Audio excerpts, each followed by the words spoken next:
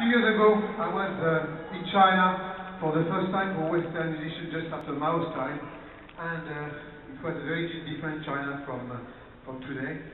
Uh, it was a little bit like playing on the moon, and uh, on my way back, I decided to write a song, kind of a pairing of photos, audio or musical photos of what I experienced, and it is called Souvenir of China.